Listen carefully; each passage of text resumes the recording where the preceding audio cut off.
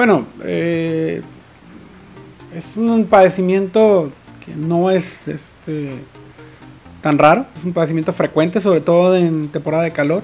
Y bueno, pues ahorita ya estamos empezando. A pesar de que no ha habido eh, días calurosos sostenidos, sí ya hemos tenido piquitos de calor por ahí. Esto hace más frecuentes y tiene mucho que ver pues, con el consumo de, alimentos que pudieran estar en un momento dado eh, contaminados o expuestos durante mucho tiempo al calor y esto pues, favorece la proliferación de bacterias que terminan generándonos este, molestias gastrointestinales que pueden ir desde la simple sensación de malestar hasta diarrea y vómito, que ya es una gastroenteritis y hay que dar tratamiento. Esperamos un incremento 10-15% de lo que vemos el resto del año. Últimamente no, no ha habido un incremento importante.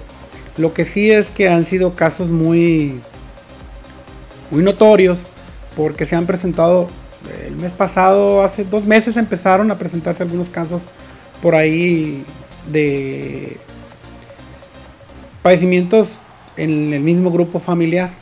Pues por ahí se empezó a investigar, creo que tuvo que ver con algo de el, común era el consumo de queso. Ya se investigó por ahí, el área de epidemiología empezó a trabajar junto con el área de epidemiología jurisdiccional, que son los que hacen las visitas de campo. Y bueno, trabajaron al respecto creo que disminuyó prácticamente los episodios a casos aislados, pero ya sin relacionarse al consumo de queso, sino los episodios de, pues comí en la calle y se acabó, una gastroenteritis y se acabó.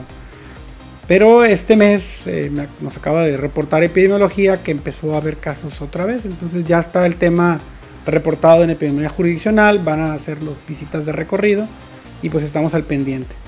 Pero no es un incremento importante. Lo que llama la atención es que, vienen dos, tres personas de la misma familia que consumieron lo mismo y pues eso sí ya llama la atención.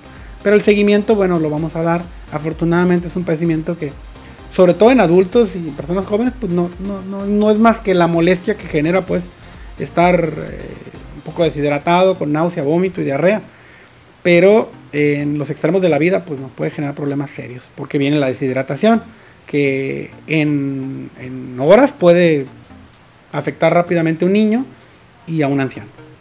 Eh, recomendaciones, evitar, primero que nada, tratar de evitar al máximo el consumo de alimentos callejeros, eh, tratar de consumir eh, alimentos que se expendan en, pues que sean expendios autorizados y que uno pueda constatar que están un buen manejo, hay un buen manejo, están en, en vitrinas refrigeradas, que estén con buen cuidado, que las personas estén aseadas, eso de consumir en la calle a veces eh, nos damos con la sorpresa de que son personas muy limpias, pero en muchas ocasiones la persona muy limpia, pero está expuesta en una hielera que ya no tiene hielo, que ya está a temperaturas muy altas.